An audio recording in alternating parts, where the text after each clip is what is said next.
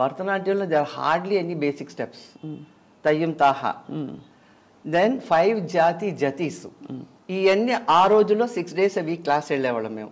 So we could finish in six months but ఇప్పుడు two days క్లాస్కి వెళ్ళేది వారానికి. So how long will they take to finish అది ఏమైపోయిందంటే డైల్యూట్ అవుతూ అవుతూ అవుతూ అవుతూ వచ్చేసింది. ఆఫ్టర్ మాస్టర్ గారు the students themselves they don't teach the way they have learn from master గారు. మాస్టర్ గారి దగ్గర నుంచి ఎలా నేర్చుకున్నారో వాళ్ళు నేర్పించట్లేదు. And it's a very tough style అంటే నువ్వు డెడికేట్ అయ్యి సరెండర్ కూచిపూడికి దాసోహం అనుకుంటేనే మీకు కూచిపూడి వస్తుంది. అంతేగాని ఏదో భరతనాట్యం లాగా ఏదో నేర్చుకొని భరతనాట్యం నేను నేర్చుకున్నాను ఫుల్ బాణీ నేర్చుకున్నాను. ఐ వాంట్ చూడాలి తేడా ఏమిటని? ఓ- ఒక ఒక కూచిపూడి కాదు ఇంకో స్టైల్ నేర్చుకొని బాడీ ఎలాగ యాక్సెప్ట్ చేస్తుందని చెప్పి భరతనాట్యం ఎయిట్ ఐటమ్స్ నేర్చుకొని ఒక ఇరవై ప్రోగ్రామ్ చేశాను. అంటే ఫుల్ బాణీ.